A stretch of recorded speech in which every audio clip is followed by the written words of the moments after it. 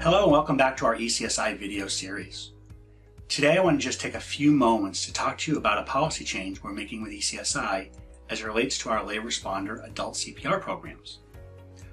We're going to be giving ECSI education centers and instructors the flexibility to deliver a course completion certificate based on a conventional CPR program, which is the delivery of chest compressions with ventilations and use of an AED, or a course completion certificate based on a compression only CPR model, where the course participant would provide chest compressions and the use of an AED in the course, but would refrain from providing or even simulating ventilations.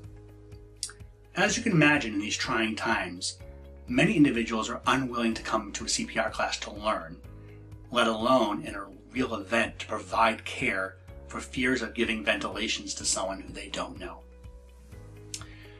We do know, however, that CPR, whether it be conventional CPR or compression only CPR, for adults is very similar when it comes to outcomes.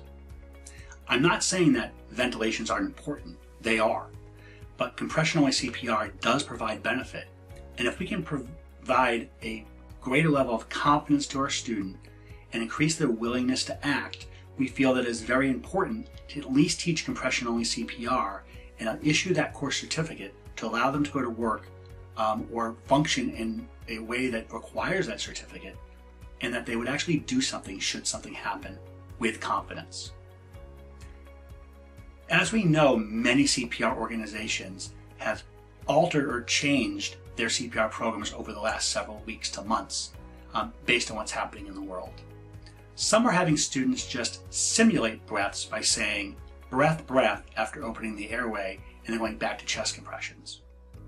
From an ECSI perspective, we feel educationally that's not the right approach. That if a student or a course participant has never actually given a breath even to a mannequin by properly opening the airway, making a tight seal and giving a breath, there's no way they would understand what to do in a real life emergency just by simulating the words breath, breath, and not breathing into the mannequin. So we're moving completely to a compression only model for those course participants, those education centers, and those instructors that want to provide the course certificate based on compression only. Again, it'll be the same course completion certificate, but you'll have the option of compression only CPR or conventional CPR based on your audience, the needs, and potentially the local regulations that may be involved in prov- providing a CPR course completion certificate. So I talked very briefly about that. This course or this program for compression only CPR is for adult CPR. I want to focus on just for a moment because I want all of our course participants and certainly all of our instructors to understand that compression only CPR for children is something that we would never encourage and never teach. Ventilations are critical for the pediatric population. And while providing CPR and maybe chest compressions to a child may seem like the right thing to do, better than nothing, from the evidence perspective, it may actually not be. We do want for all our pediatric programs, those that teach infant CPR and child CPR, to continue to teach ventilation as part of the teaching process.